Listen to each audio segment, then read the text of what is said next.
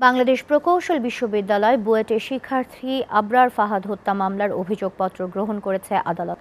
সকালে ঢাকার অতিরিক্ত chief metropolitan magistrate Mohammad Kaysarul Islam অভিযোগপত্র গ্রহণ করে পলাতক চার আসামির বিরুদ্ধে গ্রেফতারি পরোয়ানা জারি করেন। এ বিষয়ে আগামী তিন ডিসেম্বরের মধ্যে পরোয়ানা তামিল বিষয়ে প্রতিবেদন দিতে বলা হয়েছে। এরপর আদালত বিচারের জন্য মামলাটি মহানগর দায়রা জজ আদালতে স্থানান্তরের বিষয়ে পদক্ষেপ গ্রহণ করবেন বলে জানিয়েছেন আইনজীবীরা। বাতিন বিপ্লবের প্রতিবেদন।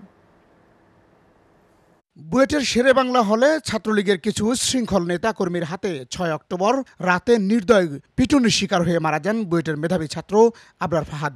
ঘটনার প্রতিবাদে বুয়েট ও ঢাকা বিশ্ববিদ্যালয় সহ সারা দেশের শিক্ষা প্রতিষ্ঠান উত্তাল হয়ে ওঠে।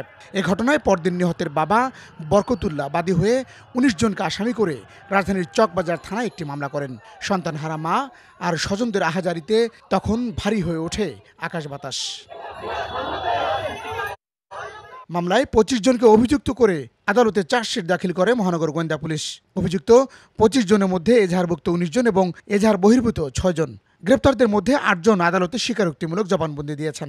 অভিযোগপত্র গ্রহণ করে অতিরিক্ত মুখ্য মহানগর হাকিম কায়সারুল ইসলাম, পলাতক আসামিদের বিরুদ্ধে গ্রেপ্তারি পরোয়ানা জারি করেন। আজকে চার্জশিট গ্রহণের দিন ধার্য ছিল। আজকে আমাদের চতুর্থ অতিরিক্ত মহানগর হাকিম পাঁচ নম্বর কোর্টে এই মামলাটা চার্জশিট অ্যাকসেপ্ট করেছে এবং পরবর্তী বিচারের জন্য পরবর্তী বিচারের জন্য দিন ধার্য করেছে।